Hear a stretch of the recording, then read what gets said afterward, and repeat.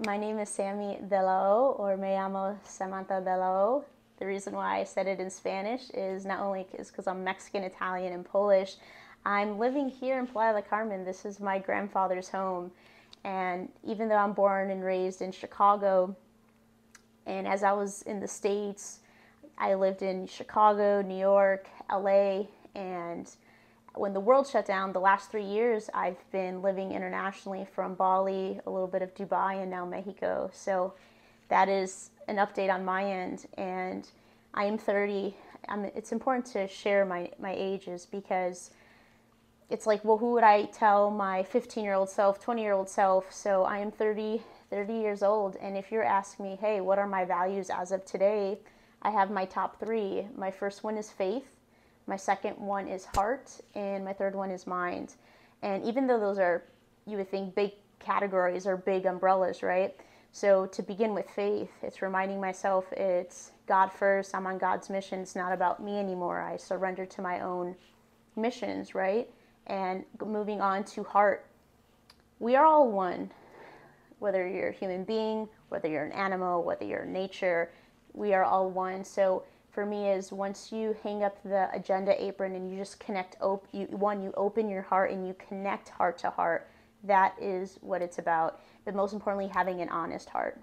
And going to mind not having stinking thinking with for me those are my oxygens. These are the three foundations.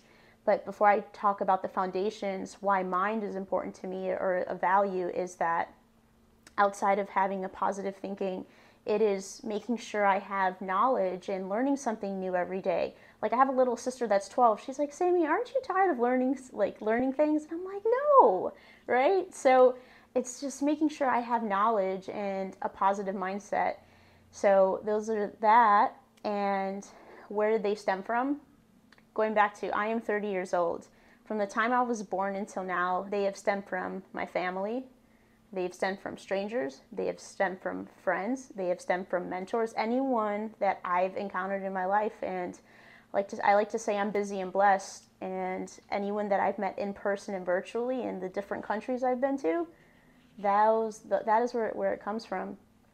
And moving on to why are they important to me? Because they are the foundations of what I do personally and professionally foundation, foundation, foundations are so important because that is what that is what I say yes and no to. And it's so interesting the timing of me doing this video right now is because I recently I did I recently did an investment on myself. I'm on week 6 and I'm being reminded, Sammy, what are your values?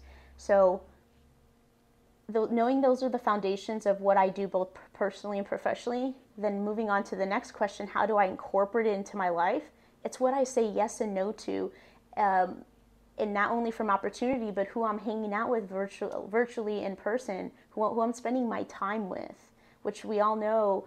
If or here's the friendly reminder: time, time, time. It's it is such a I put it over uh, finances and, and money, right?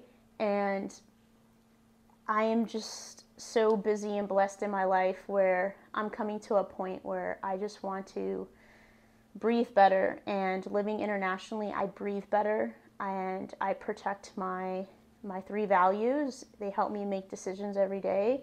And I'm still want to continue my my fearless journey